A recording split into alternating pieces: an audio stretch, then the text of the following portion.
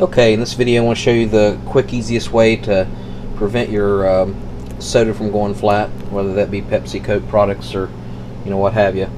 Um, and this is the quickest way. I actually learned this from like the 1980s, and it actually works.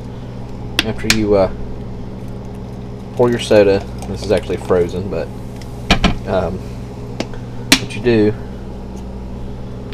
put your cap on really tight And what you do is you flip it. Alright, you just turn it over like that. And then close it. And that will preserve your uh, soda from going flat. Um, what it does is the soda actually, when you do that, it seals up here at the cap so air can't come into it. Um, Alright, thanks for watching.